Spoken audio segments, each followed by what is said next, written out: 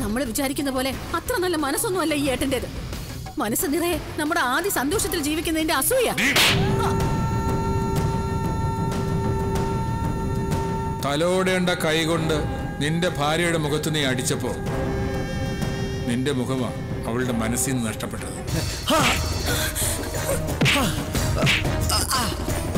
അവൾ കാരണം രണ്ട് കുടുംബത്തിലെ സമാധാനം നശിച്ചു.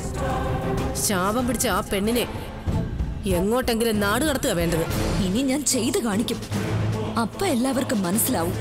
കസ്തൂരിയെ ജയിലിൽ അടയ്ക്കാനും നാട് കടത്താനും ഒന്നും ആര് വിചാരിച്ചാലും നടക്കില്ല. അവളെ ഇന്ന് തന്നെ സ്റ്റേഷനിൽ നിന്ന് ഞാൻ ഇറക്കിക്കൊണ്ടുവരും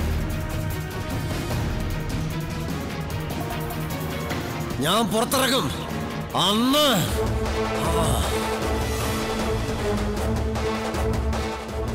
നീരക്കുയിൽ ഇന്ന് രാത്രി ഏഴ് മുപ്പതിന് ഏഷ്യാനെറ്റിലും പിന്നെ എപ്പോഴും ഹോട്ട്സ്റ്റാറിലും.